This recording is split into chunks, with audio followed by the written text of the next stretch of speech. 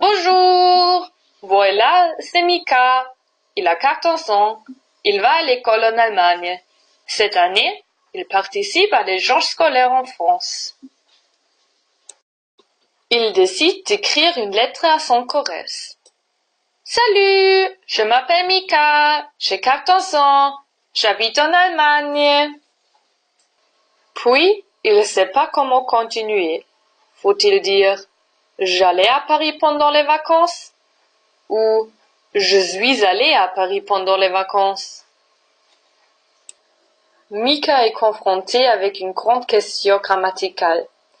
Quand faut-il utiliser l'imparfait et quand faut-il utiliser le passé composé? L'imparfait est un temps qui décrit des actions dans le passé. D'abord, il est utilisé pour décrire une situation dans le passé.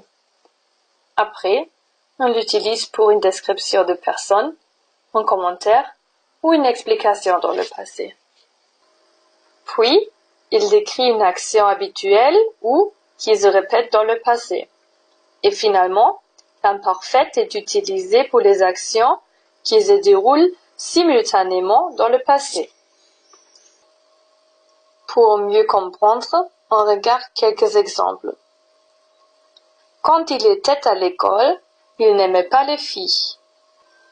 Christine était un enfant mignon. Voilà, vous voyez une description de personne dans le passé.